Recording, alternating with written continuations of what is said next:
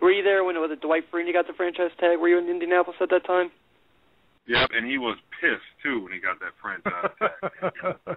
you talk about you know a guy who was uh, a huge meaning to a city and to a team. You got you got to talk about Peyton Manning and Jim Irsay slapped him up with the franchise tag uh, when he was with the Colts, and you know Irsay said that it's uh, you know we we're working on a long term contract. Nothing you know we we haven't got anything solid yet. We're going to put him on the franchise tag to you know keep him here, whatever the, the case may be.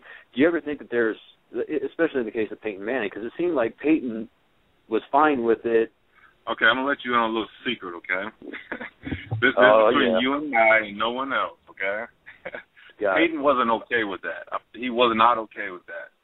Um, Peyton wanted to be the highest paid quarterback in the NFL, which he deserved. I mean, that's that's not like groundbreaking news. He wanted to be the highest paid quarterback, and it came down to a, a million or two two million dollars of salary a year.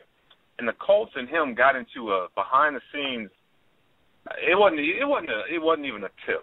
They just got into a contract war over that two, roughly two million dollars.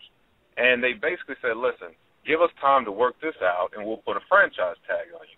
So in the meantime, Peyton being Peyton, which is Peyton's the, the one of the greatest professionals I've ever been around. He was like, "Cool, this is not going to leak to the media because it's not. It's not worth it. Like we're going to all be professional here, but I'm to give you time to work this out. And they did work it out. But he wasn't happy about it either. I mean, you know, I mean, if if you deserve it, you deserve it. I mean, especially in a, in a, in a game like the NFL, like it's the most taxing on your body.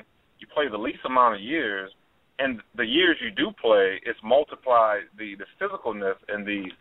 Okay, let me rewind. The years you do play, the the after effects of it are multiplied by you know you know it's just multiplied compared to any other years you play in any other uh, major professional sport. So when it comes to money, it, it's it's it's real. Like, and most people can't really understand that because when they read it in the newspaper, it's uh ex at or such and such athlete is holding out over one million or two million dollar more when the team offered him thirty million dollars, he wanted thirty five million dollars or thirty two million dollars. It was like, listen, listen, that third, that extra two or three or five million dollars is all I have guaranteed. So you better believe I'm a holdout for it because that extra two or three five million dollars is all I have to, to put into the bank or to put into investments for my family because at any time the team can say, you know what, we don't need your services anymore. Thank you, but no thank you. Goodbye. You know. So, but back to your point, it, it, it really wasn't behind the scenes. You know, Peyton Peyton wasn't necessarily all completely happy about that, but Peyton being the team player he is, was like, listen, this we don't need to make this a public thing. You'll get to it when you get to it, but make sure you get to it.